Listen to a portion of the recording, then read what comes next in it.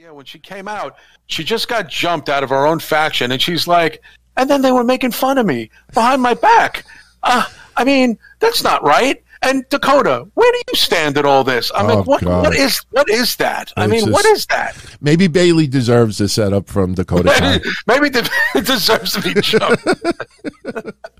oh man hey i i know listen i admit i did a show on friday so i got a three day head start on this but for each and every one of you out there whether you like us or you hate us but you're tuning in anyway and we appreciate that you have to admit we are the only fucking podcaster out there that didn't buy into the rock roman reigns bait for the last 10 days you called it 10 days ago that not only was it going to be nothing but a swerve, but you got all these people now, oh, they pivoted, they changed the story.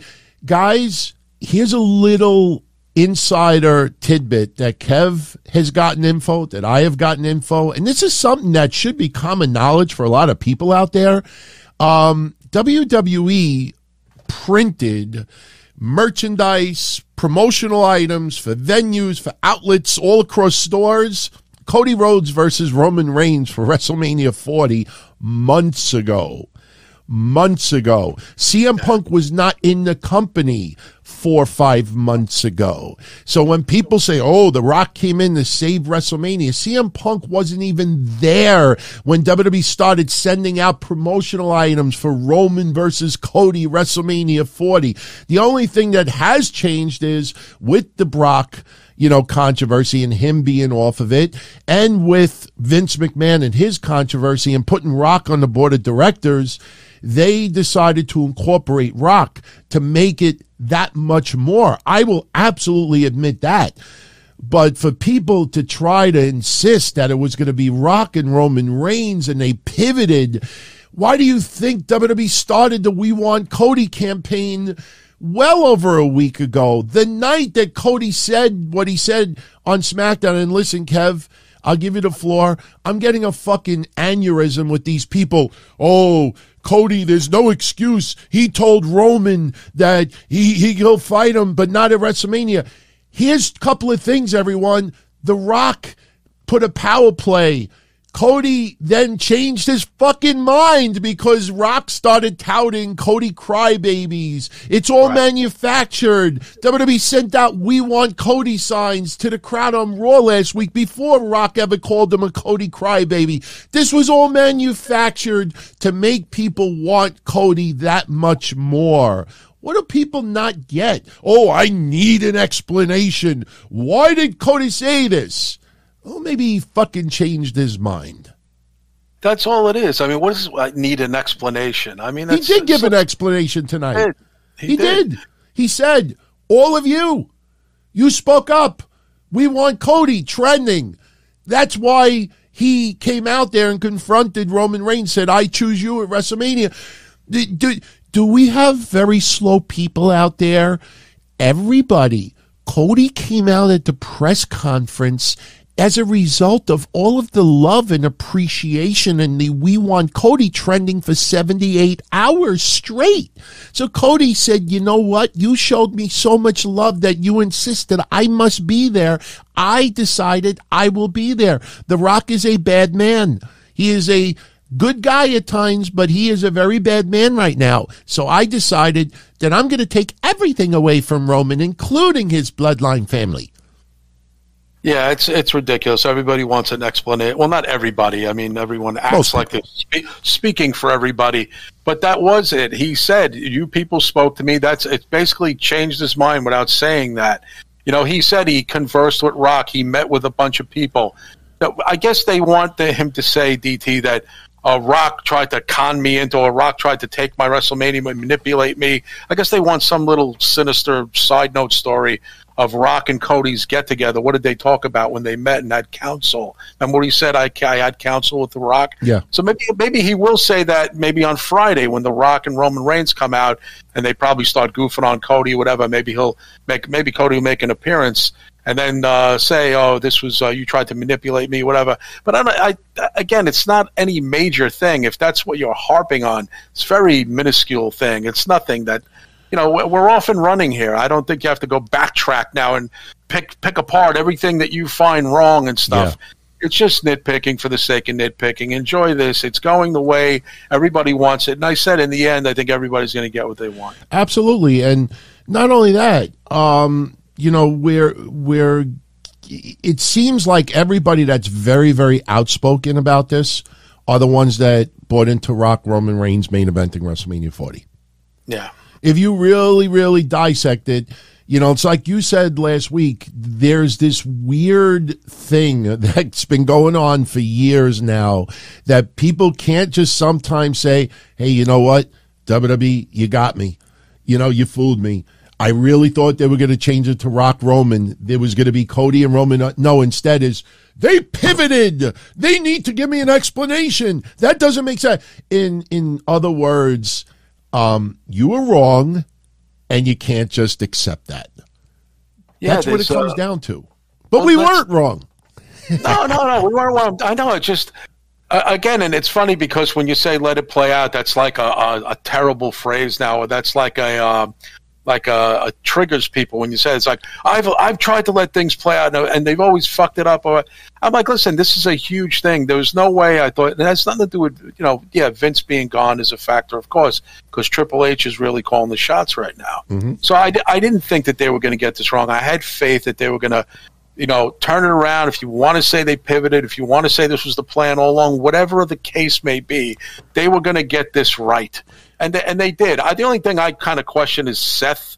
As yeah, we could segue to that. That is a very good thing because look, I see. I'm going to show everyone that I could be the better man and admit where I could be wrong.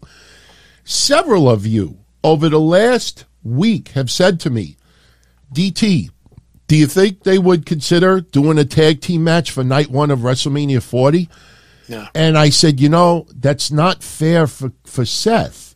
You know, to have, you know, Roman and Cody on two nights, you know, it's kind of a little bit unfair. It takes a little bit away from Seth.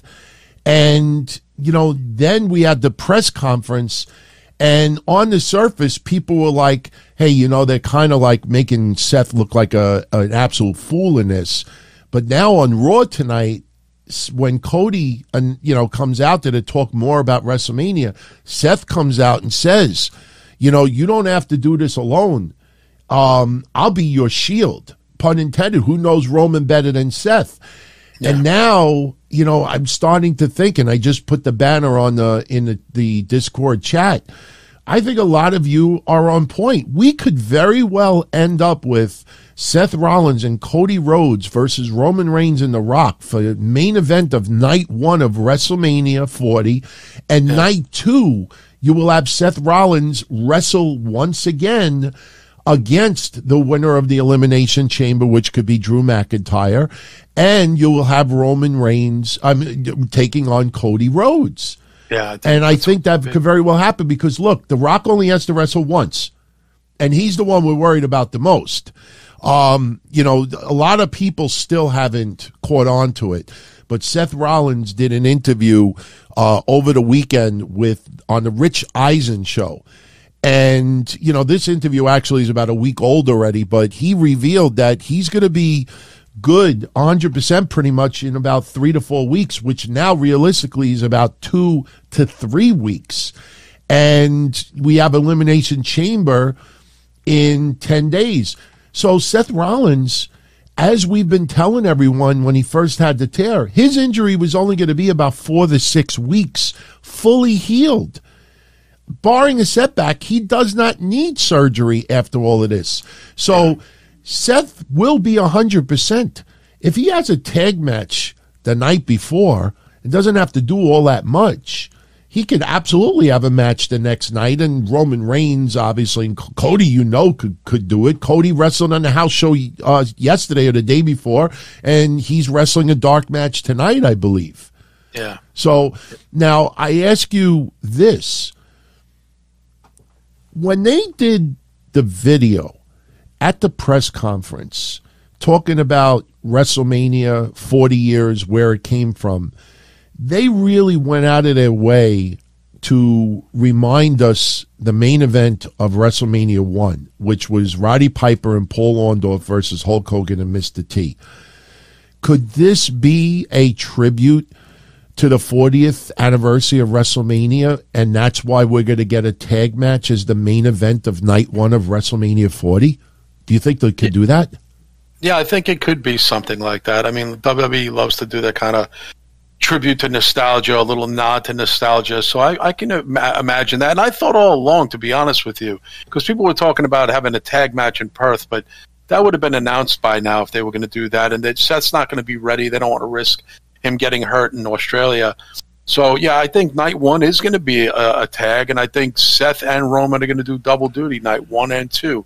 And those two guys, maybe in a way they should. I mean, they're the two faces. I mean, Roman a much bigger face uh, of the company, and they can. They both of them can clock in two nights. It's not going to kill them. I don't. I think it's. I don't know if it's not fair to Seth. I think if anything, Seth wants to. He prides oh, himself oh, yeah. on being he prides himself on being the workhorse, and I think Reigns has something to prove too, saying, "Hey, fuck, fuckers, I fucking worked two nights in a row WrestleMania, so you know, you know, so fuck you with the, my schedule. He's uh, micromanaging my schedule." So I think both of them can do it. Uh, it's not a big deal. I don't think the tag is gonna tag match is gonna be some elongated match. No. I think the next night, whoever he takes on, whether it's Drew or whoever, Damian Priest, whoever it's going to be for Seth, you know, they'll put in the match they need to. And I think Reigns and Cody will probably wind up doing at least a half hour, maybe if not more. I mean, I, I think it's going to be fine. I think Seth and Reigns wrestling on uh, two nights in a row is going to be fine. Yeah, absolutely. And look, since Rock is obviously on the board of directors now, there's no reason why The Rock cannot travel to Australia. So The Rock could end up making a cameo at Elimination Chamber. Uh, Roman Reigns could make the flight. I mean, he's not an invalid. You know, it's not like he can't go to Australia, but there's just no announced match.